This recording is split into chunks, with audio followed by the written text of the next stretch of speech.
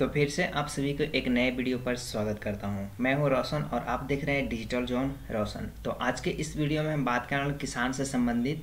यहाँ पर गोडाउन बनाने के लिए यहाँ पर कुछ पैसा मिलने वाला है, जैसे कि पाँच लाख छः लाख रुपये यहाँ पर पैसा मिलने वाला है गोडाउन बनाने के लिए। और आप गोडाउन बनाने के बाद इसमें पैसा आप रिफंडेबल ले सकते हैं। तो इसमें गोडाउन बनाने के लिए आपको पैसा यहाँ पर कुछ लेने के लिए आपको ऑनलाइन प्रक्रिया करना है।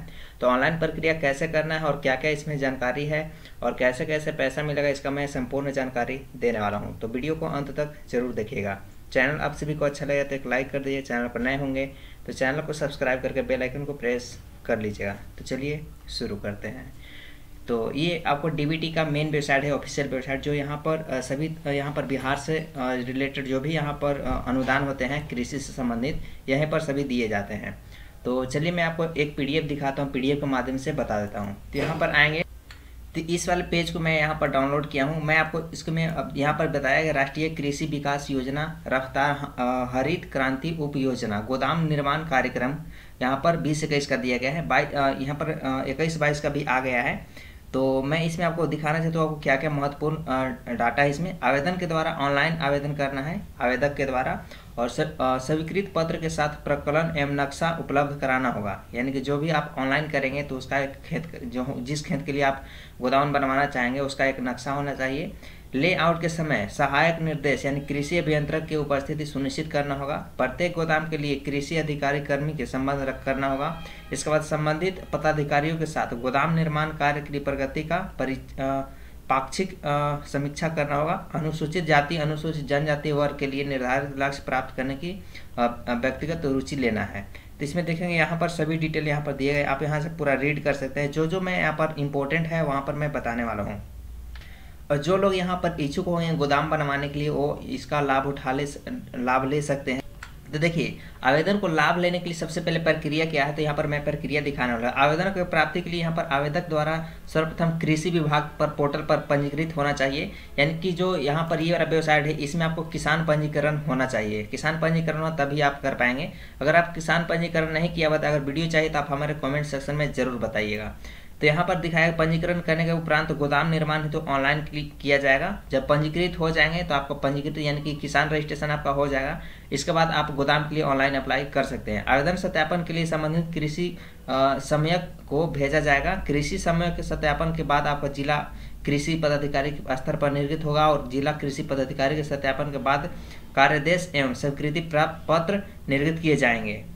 इसके बाद आवेदन करने के बाद सभी वहाँ पर क्या होगा कि जाँच होगा। आवेदन की जाँच प्रक्रिया यहाँ पर बताया गया कि कैसे कैसे आवेदन की जाँच होगा। यहाँ पर लिखा है, आवेदन की जाँच स्वीकृत के लिए की जाएगी। आवेदन जाँच की प्रक्रिया अधिक से अधिक पाँच दिनों के निश्चित पूर्ण कर ली जाएगी। बातों के अतिरिक्त यह देखा जाएगा कि आवेदन प्रकृत किसान है या नहीं तथा उन्हें वास्तव में गोदाम आवश्यकता है या नहीं। ज़मीन के कागजातों की जाँच कर सुनिश्चित किया जाएगा। जमाबंदी आवेदक को नाम पर है। अब इसका आवेदन आज ही से यानी कि 15 मार्च से ही स्टार्ट होना है 15 मार्च 2022 से आज से स्टार्ट होना है, जो यहाँ पर पोर्टल पर आपको दिखाया जाएगा। अभी पोर्टल में ऑनलाइन वाला में नहीं आया है तो हो सकता है आज रात तक या तो कल तक आपको पोर्टल पर मिल जाएगा, जो इसका आवेदन मात्र पाँच से छः दिन ही होना है आवेदन तो आपको जल्द से जल्द आवेदन कर लेना होगा। उसके लिए पहले आपको किसान पंजीकरण होना चाहिए।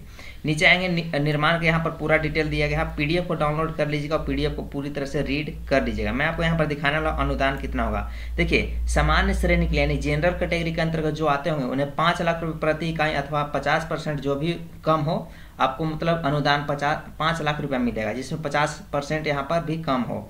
अनुसूचित जनजाति अनुसूचित जनजाति के लिए यहाँ पर नौ लाख रुपए प्रति इकाई अथवा पचहत्तर परसेंट यहाँ पर दिया जाएगा। कम से कम यहाँ पर छः लाख प्रति इकाई राष्ट्रीयकृत राष्ट्रीय कृषि विकास योजना स्तर हरित क्रांति उपयोजना के तीन लाख प्रति इकाई योजना तक अतिरिक्त सहायता मिल सकता है। यानी कहने का मतलब अगर मान लीजिए पाँच लाख अगर आपको अनुदान अगर लगता है आपको गोदाम बनवाने में तो आपको पचास परसेंट डिस्काउंट मिलेगा। यानी कि अढ़ाई लाख रुपये आपको मिल जाएगा सरकार की तरफ़ से।